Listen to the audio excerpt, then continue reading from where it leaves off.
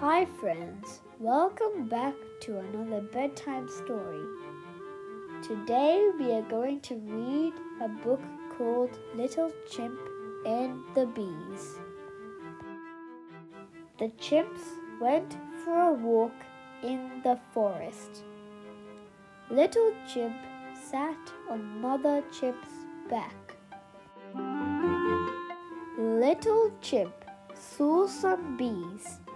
They came flying out of a tree. Big Chimp saw the bees too. He looked at the bees and he looked at the tree. Big Chimp walked up to the tree and he hit it. Some bees came flying out. Buzz, buzz, buzz went the bees. Buzz, buzz, buzz. Go away, bees, said Little Chimp. Get away from me. He got down from Mother Chimp's back. Little Chimp ran to hide in the grass. Big Chimp got some honey out of the tree.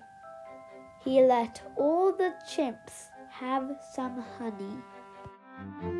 Little Chimp looked at all the chimps eating honey.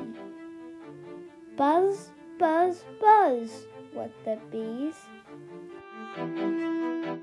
Mother Chimp walked away from the tree. She had some honey for Little Chimp. The honey looked good to eat. Little Chimp came out of the grass and ran to get the honey. Friends, hope you all enjoyed the story of Little Chimp and the Bees. We will come back with another bedtime story. Till then, good night and sweet dreams to you all.